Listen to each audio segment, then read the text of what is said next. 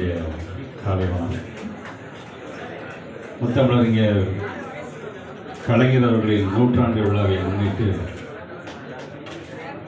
மாநகராட்சி நகராட்சி பேரூராட்சி ஒன்றிய பெருந்தலைவர்கள் சார்பாக பாட்காஸ்ட் வலைவழி ஒளிப்பதிவு வெளியீட்டு விழாவை அனைவரையும் ஆரம்பத்தில் வரவேற்று அமர்ந்திருக்கின்ற இருக்கின்ற அனைத்து சான்றோர் பெருமக்களுக்கும் எதிரே அமர்ந்திருக்கின்ற கழகத்தினுடைய மூத்த முன்னோடிகளுக்கும் இளைய சமுதாயத்தை சார்ந்திருக்கின்ற அன்பு சகோதரர்களுக்கும் பத்திரிகைத்துறை ஊடகத்துறை சார்ந்திருக்கின்ற நண்பர்களுக்கும் முதலில் என்னுடைய நன்றி கலந்த வணக்கத்தை நான் தெரிவித்துக் கொள்கின்றேன்.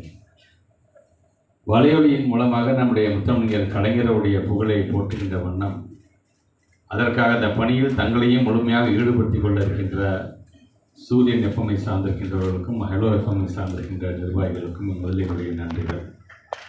குறிப்பாக இந்த பாட்காஸ்ட் என்று வரும்பொழுது இதன் சார்ந்து இதை யாரை வைத்து நாம் வெளியிடலாம் வெளியிட்டால் அது சரியாக இருக்கும் என்று நாங்கள் எண்ணிய பொழுது தொடர்ந்து நம்முடைய சிந்தனை செல்வராக இருக்கக்கூடிய அவருடைய மகன் நாடாளுமன்றத்தினுடைய உறுப்பினராக இருந்தவர் இன்றைக்கு நமக்கான நம்முடைய இயக்கத்தில் ஒரு முக்கிய பொக்கிஷமாக விளங்கி கொண்டிருக்கின்ற அண்ணன் டி கே சிலம்போன் அவர்களை அழைத்தால் அவருக்கு சரியாக இருக்கும் தான் திருச்சி தெற்கு மாவட்ட திராவிட முன்னேற்ற கழகத்தின் சார்பாக நடைபெறுகின்ற இந்த நிகழ்வில் எங்களுடைய மாவட்ட கழகத்தின் சார்பாக அவரை வருக வருக வருக என்று வரவேற்று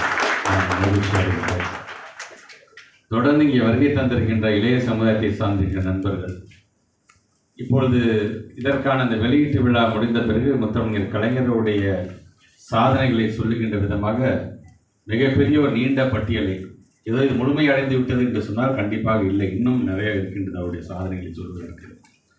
வருகை தந்திருக்கின்ற நீங்கள் நினைத்து பார்ப்பது ஒன்றே ஒன்று தான் வந்திருக்கவங்களே எத்தனை பேரோட அப்பா அம்மா பட்டதாரியாக இருக்கிறார்கள்? அல்லது அவர்களுடைய தாத்தா பாட்டிகள் எத்தனை பேர் படித்திருக்கிறார்கள் என்று நீங்கள் சிந்தித்து பார்க்க வேண்டும். அப்படி படித்திருந்தார்கள் என்று சொன்னால் அதற்கு காரணம் தந்தை பெரியார் பேரறிஞர் அண்ணா முத்தமிழர் கவிஞர் அப்படி அவர்கள் படிக்கவில்லை என்று சொன்னால் அதற்கு யார் காரணம் என்பதை சிந்திக்கக்கூடிய இளைய சமுதாயமாக நீங்கள் இருக்க வேண்டும் என்பதற்காகத்தான் திராவிட இயக்கங்கள் குறிப்பாக திராவிட முன்னேற்ற கழகத்தை சார்ந்திருக்கிற நாங்கள் பல்வேறு மாநாடுகள் நடத்தும் பொழுது தமிழ்நாட்டினுடைய கல்வி புரட்சியை பற்றி மறக்காமல் அது ஒரு தலைப்பாக வைப்பதற்கு காரணம் அதுதான்.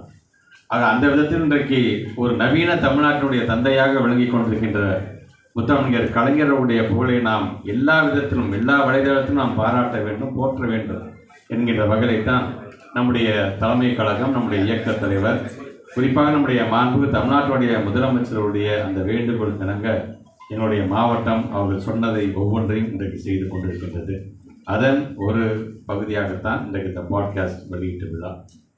முத்தமிழர் கலைஞர் வாழ்ந்த காலம் முழுவதும் அவர் திரைப்படத்திற்கு ஏன் நாடகத்திற்கு அவர் கதை வசனம் எழுதியதுலேருந்து திரைப்படத்திற்கு எழுதியதிலிருந்து இன்றைக்கு இருக்கின்ற ட்ரெண்ட் ஃபேஸ்புக் வரைக்கும் ட்விட்டர் வரைக்கும் அவர் வாழ்ந்த காலத்தில் அதில் தன்னுடைய பங்கீட்டை முழுமையாக செலுத்தி கொண்டிருக்கின்றவர் அப்படி தன்னுடைய பங்கீட்டை செலுத்தும் பொழுதெல்லாம் அந்த இயக்கத்தினுடைய வளர்ச்சிக்காகவும் தமிழினுடைய வளர்ச்சிக்காகவும் தமிழை போற்றுகின்ற விதமாகவும் அதை அவர் பயன்படுத்தி கொண்டார் என்பதற்கு எந்த ஒரு மாற்று கருத்தும் இல்லை.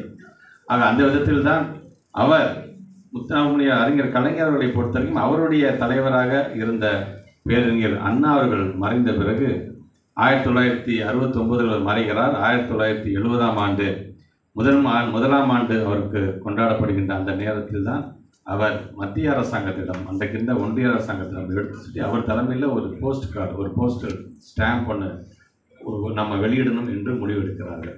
அப்படி வெளியிடும் பொழுது அங்கே இருக்கின்ற அதிகாரம் அழைத்து அண்ணாவுடைய புகைப்படத்தை தேர்ந்தெடுக்கின்ற பணியில் நம்முடைய முத்தமிழ் கலைஞர் ஈடுபட்ட பொழுது வெறுமன அந்த அண்ணாவுடைய அந்த புகைப்படத்தை மட்டும் அவர் வந்து தேர்ந்தெடுக்கவில்லை.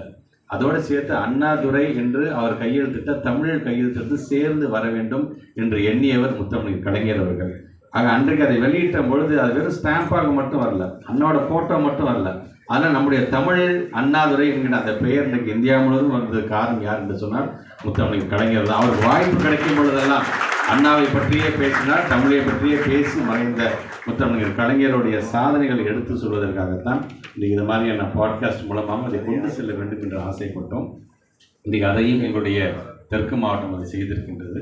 அதை குறிப்பாக பல்வேறு கருத்துக்களை திராவிட சிந்தனைகளாக இருந்தாலும் சரி குறிப்பாக நம்முடைய முத்தமிழர் கலைஞர்களோடு பக பழகியவர்கள் யாராக இருந்தாலும் அவர்களை அழைத்து நாங்கள் இது போன்ற கூட்டம் நடத்துவதற்கு காரணம் வருகை தந்திருக்கிற நீங்களும் அதை தெரிந்து கொள்ள வேண்டும் என்கின்ற ஆசை தான். ஏதோ இயக்கத்தை சார்ந்திருக்கிற நாங்கள் மட்டும் தெரிந்தால் மட்டும் பத்தாது.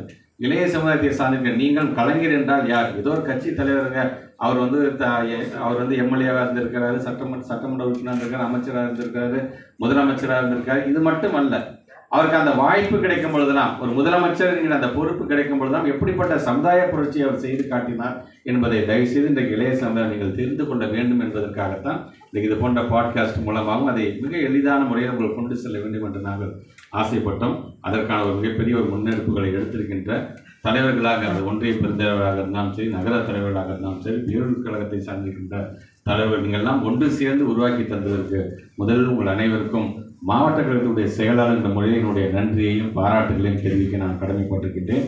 ஆக அந்த விதத்தில் வருகை தந்திருக்கிற நீங்கள் நம்முடைய அண்ணன் டி. கே. சிலங்கோன் அவர்கள் சொல்கின்ற கருத்துக்களை நீங்கள் உள்வாங்கிக் கொள்ள வேண்டும். இதோ ஓராண்டு மட்டுமல்ல பொதுவாக ஒரு தலைவருடைய பிறந்தநாளை கொண்டாடும்போது உயிரோடு இருக்கும்போது கொண்டாடுவோம்.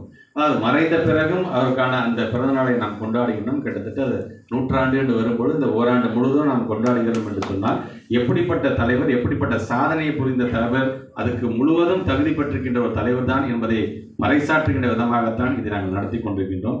ஓராண்டு மட்டுமல்ல இன்னும் நூறாண்டு முத்தமிழ் கலைஞருடைய புகழை போற்றுவோம் என்று சொல்லி உங்கள் அனைவருக்கும் மீண்டும் ஒரு மீண்டும் நன்றி தெரிவித்து நன்றி.